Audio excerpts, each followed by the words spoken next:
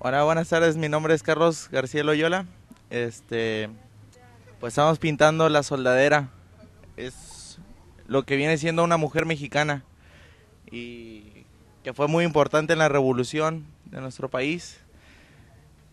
Mi equipo lo conforma Javier, eh, también Adrián y Alejandra.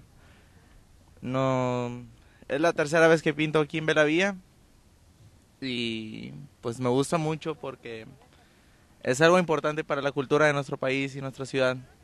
Hace que crezca la cultura y la educación en la gente. También pues es una, una forma de divertirnos y pasárnosla bien y lo demás que conozcan. ¿Qué más puedo decir?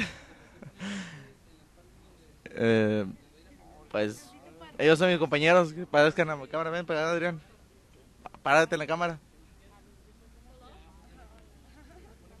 Y pues bueno, eso.